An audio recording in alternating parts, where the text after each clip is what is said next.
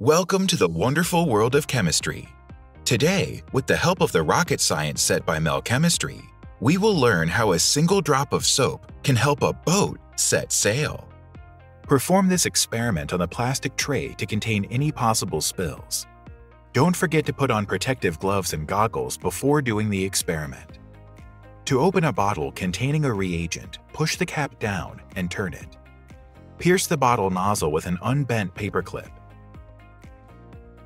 For the soap boat experiment, you will need liquid soap. Take the small plastic boat and a wooden stick from your experiment set.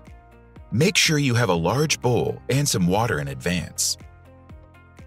Fill the bowl approximately halfway full with water.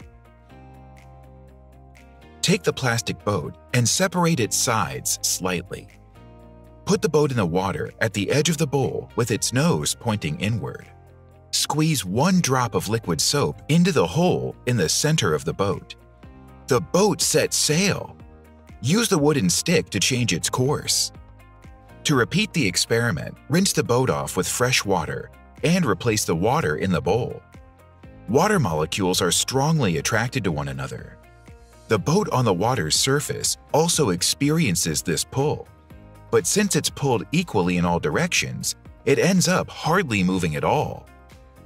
Liquid soap weakens the attraction between the water molecules. When the soap is added to the hole in the boat, the pulling force behind the boat lowers, becoming weaker than the pulling force in the front.